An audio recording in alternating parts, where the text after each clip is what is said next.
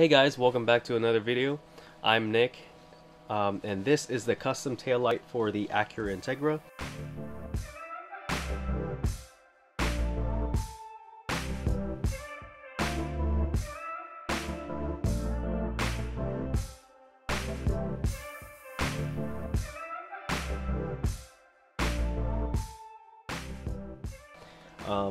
It's called the DC2. I'm not sure. You guys can correct me on that. Um, this is the USD USDM ones, so this one does come with the turn signal, I think. Um, as you can see, it's a little cracks here. As you can see, it's kind of like in a used condition, but we can we'll try our best to remedy that with silicone as well. Um, so without further ado, let's show you guys the light demonstrations and how, all their features. All right, all right. Okay guys, so here's the taillights for the Acura Integra. As you can see, they're nice and diffused looked. Um, I wanted to do that just so it gives it a little bit more modern look. Um, it looks a lot more better on person, uh, but here are all the lights as if they're all on. We have the reverse, like I said, the reverse right here on the white. Then we have this running light, which is our two bars here. So as you can see, we have the all the lights here um, we have the reverse, the running light and brake light right here. Those are actually two different uh, sections. So, and then here's our turn signal. Nice diffused look. Um, yet again, this is more like orange. It's a lot more blown out than it is, but uh, let's go ahead and show you guys individually as if this tail light were to function. So that just goes on and off like that as if you were turn signaling. Okay.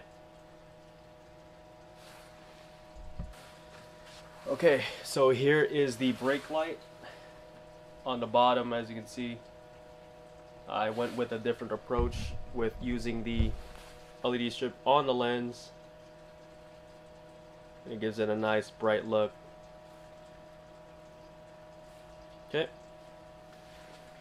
That is the brake light, and here is the running light. So this is what you would see um, if you saw those tail lights at night or just running around, you know. Okay, nice bar diffused look. And for the reverse, there's the reverse lights.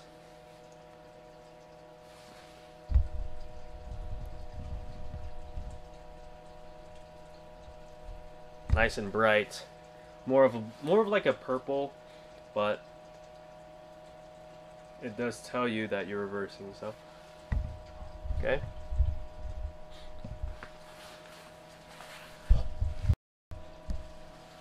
And there is one more shot of all of them together. Nice and kind of modern look. Um, this is what we're going to be building today. So go ahead and stay tuned. Alright guys, so this is the lights we are going to build today and I'm going to show you step by step on how I did it and how easy you can do it uh, for some taillights like this. Um, yeah, there's other designs that I could do. Basically, I just followed the way that the lenses were made. So we have like three different sections here for each bulb, which can be good. Um, again, the lenses are kind of like, you know, painted to the way it is so I can't put turn signal here all the way through so um, either that you would need to get a clear lens and then you would have access to RGB but for a basic um, look you know modernized look these are the option you want to get. Um, again these were my top priority back in the day I just wanted to make these and here we are. So they look pretty awesome. Uh, they are definitely a different uh, way of building them. So let's go ahead and get to it. Okay guys, to get started on your custom taillights for the Acura Integra, first you're going to need a taillight. Um, you can get these anywhere.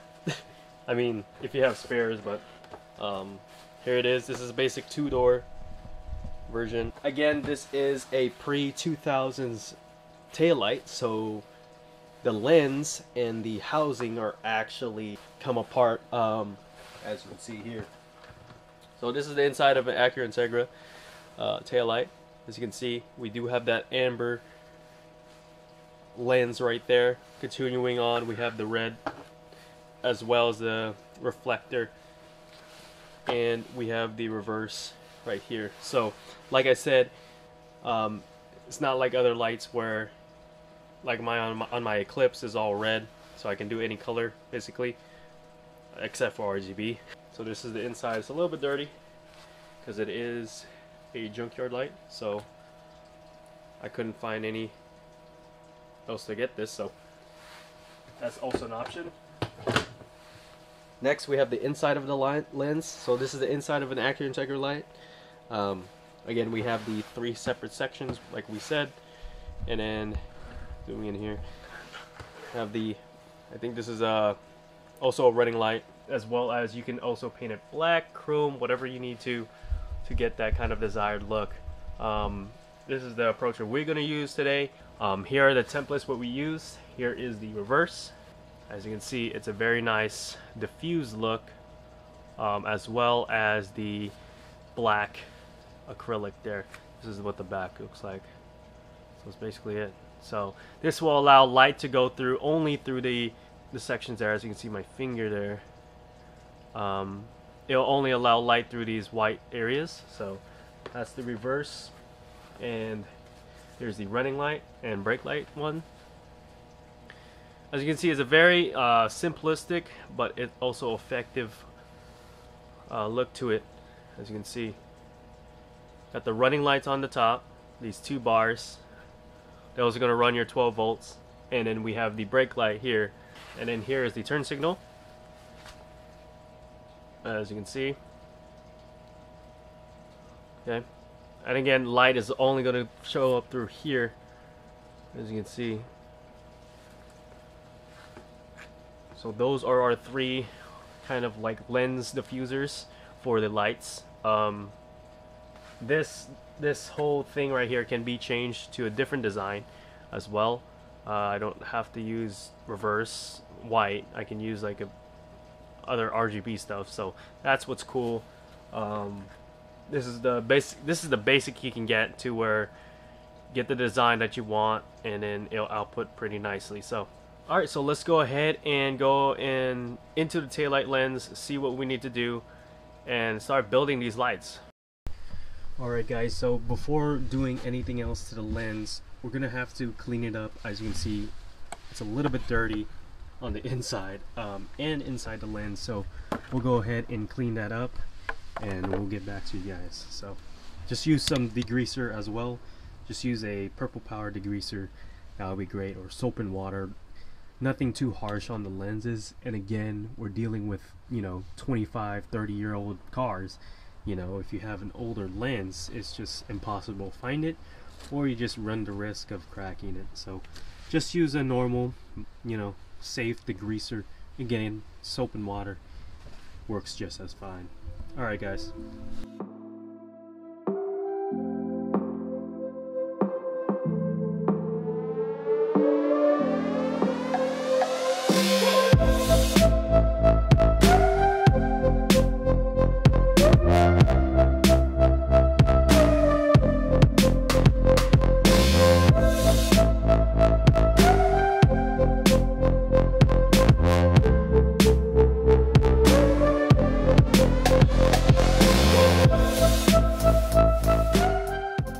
here's all the materials that you need. Oh, some of them. the majority of all the tools and equipment you need to make custom lights. So here we have some wire cutters. This you can get, you know, Home Depot, Lowe's. Just make sure you get the right gauge. As you can see, this is an indented one. Goes from 18 to what, 24, 20, 28. You want to get a very good range of that, just in case. Um, next we have these uh, flush cutters. You can get these at like, again, Home Depot and Harbor Freight, stuff like that. And these have a very flat blade on it. So when you're cutting zip ties, you know, cutting, you know, wires for the LED strips, you want to make sure it's flat and crisp and clean.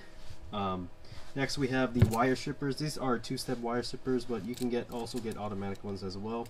Also get crimping ones as well. So here is just my choice as you can see um, I don't really need to get into that much detail here but here it is. Here is the head part of it. As you can see it grips the wire here. Okay grips the wire there and it cuts at the same time when you're pulling apart. So it grabs it there pulls it down. Oh that was supposed to go down too. So there. Boom boom and pulls it apart. Basically creates that gap um, that you see in the majority of lights here um, moving down the list we have the soldering. Here's our three wire for our RGB stuff but just wanted to include it just in case you guys don't know. This is really useful especially if you want to get to smaller gauges and you just want to just wire them together. Those are really good as well as just wiring into these little divots here. This is just Harbor Freight foam tape or double-sided double-sided sticky tape. You can use this for anything for uh, adhesion on the LED strips as well. Just normal duct tape masking tape and as well when you're doing wiring you got to have that electrical tape. So just get a lot of electrical tape you can. Um, moving down the list we have the LED strips. So you can get you know all sorts of LED strips as well. Here's just one. Um, the ones I use specifically for mine are 5050 SMDs which are really bright and really packs a punch if you can get one that's if you get a strip that can get it to where it's just um, really close together as you can see that's all you really need. Maybe you need some resistors some diodes stuff like that. Make sure you get a good mat too. This is Walmart by the way. Uh, yeah so let's go ahead and get those lights and get to wiring. Alright guys also forgot, uh, just get, get yourself a knife or a, some type of hobby knife as well. You know, that's also good. Also a lighter, just to keep things uh, lit. okay. Yeah, let's go get the light.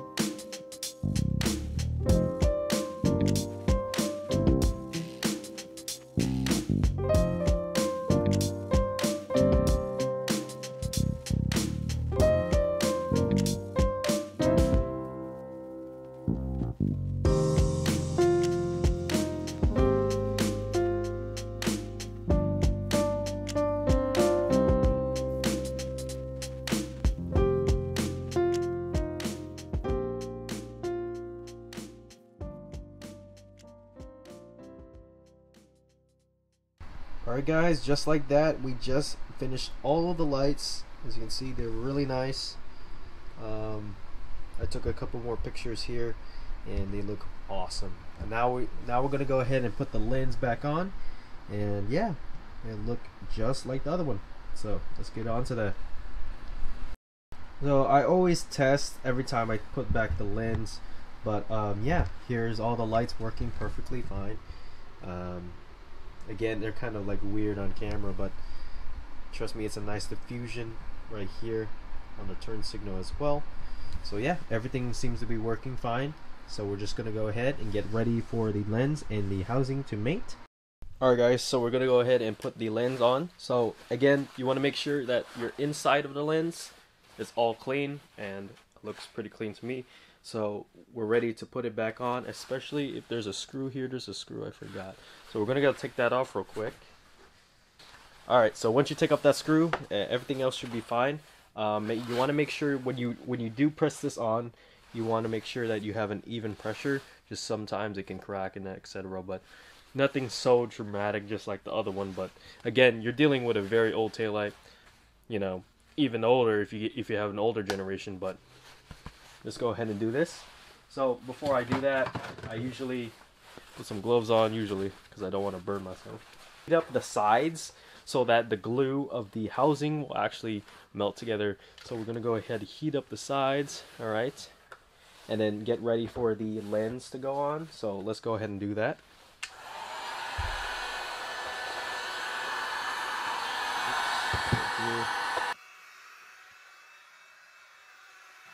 do it upside down too. That's why I I do it upside down just so like I can get a better angle on it. Get that paper towel in there. There we go.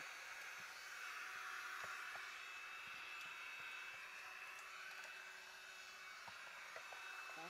Just want to even even heat.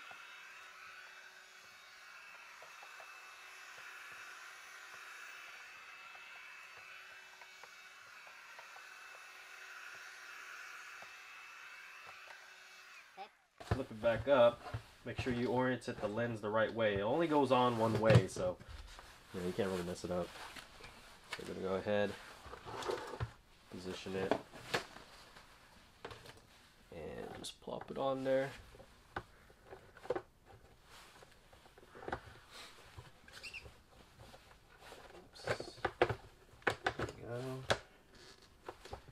As you can see, it's already going into place, so we're just gonna have to keep working it in. Get on this, all these areas here. Yep. Oh, just slapped in the face. all right, keep heating it up and pushing it down.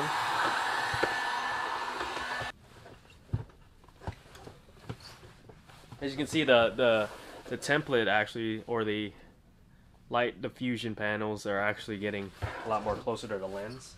So that's good. Just gonna have to keep on working this.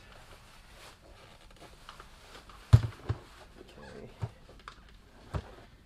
To this point, um, you can see the gap kind of close in. There's a little bit more gap here, but um, we're gonna go ahead and go ahead and bust out our clamps. And make sure that you get these kind of clamps too. They're kind of stronger for like wood. And heat this up again, and then just keep pressing down.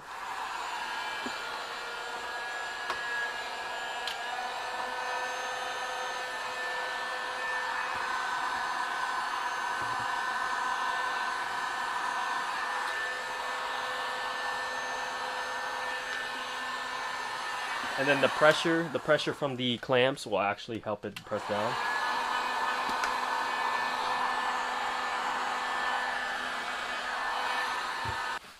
For this line here, I'm going to add a little silicone. As you can see, it's still popping out. Uh, we're going to add a little silicone right there. So everybody knows the silicone I use. Say it every time. There you go.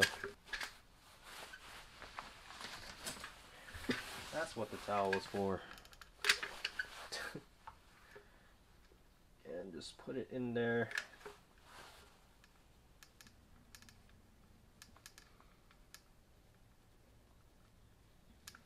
And then when we squeeze on it, it's going to spill out a little bit, but and make sure that's on there together.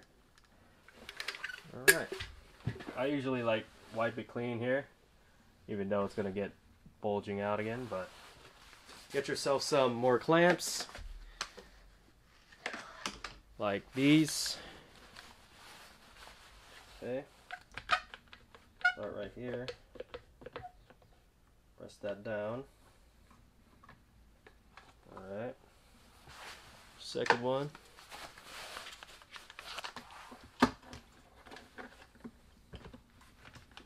Middle. Okay. And third.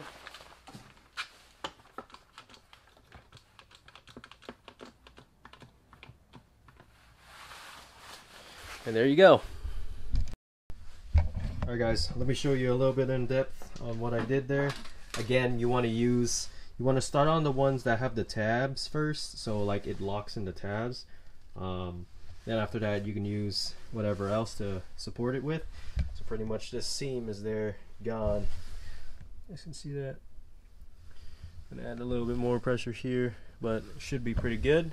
Um, as well as the other side there as you can see it's pretty good uh, nothing really cracked this is actually the better side so I should, so they look pretty nice. So anyways I hope you guys enjoyed the video. Um, doing these are awesome you know. Just waiting for the final result and seeing it in people's cars is awesome. So if you guys want this pair I think it's gonna be for sale. So go ahead and message me. If you guys want a custom set made, go ahead and mess me again. Um, I can hook you guys up. So, uh, hope you guys enjoyed the video, and that is how you make your custom taillights. Um, if not, I can provide a little video of how they look like, but that's about it. Hope you guys enjoyed the video. Peace.